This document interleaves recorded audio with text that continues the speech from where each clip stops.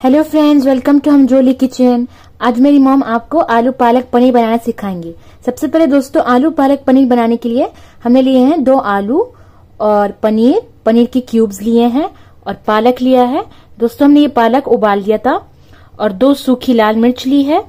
नमक अपने टेस्ट के हिसाब से लीजिएगा दोस्तों और पाँच छह गार्लिक क्लोव्स लिए और मैं अभी आपको आगे का प्रोसीजर दिखाती हूँ। अच्छा दोस्तों, सबसे पहले हमने आलू पालक पनीर बनाने के लिए मस्टर्ड ऑयल में गार्लिक क्लोव्स, सूखी लाल मिर्च, नमक के साथ फ्राई करेंगे।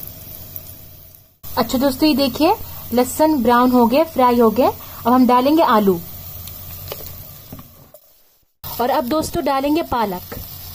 बॉइल्ड पालक दोस्तों डालेंगे।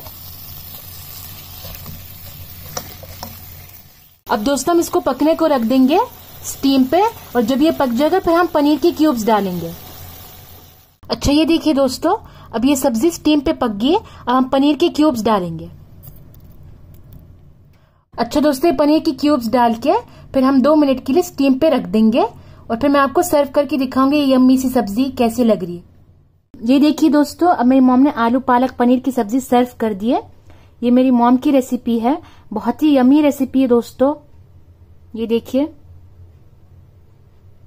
और हेल्दी भी है। आप दोस्तों ये ट्राई करके बताइएगा मुझे कमेंट में आपको कैसी लगी ये रेसिपी और अपने फ्रेंड्स रिलेटिव्स के साथ शेयर करिए ज़रूर दोस्तों और सब्सक्राइब करिए हमारे चैनल को, और ऐसी अच्छी अच्छी यमी यमी रेसिपीज़ के लिए और सिंपल इजी रेसिपीज़ के लिए और अच्छी ब्यूटी टिप्स के लिए। थैंक यू फॉर वॉचिंग दोस्तों।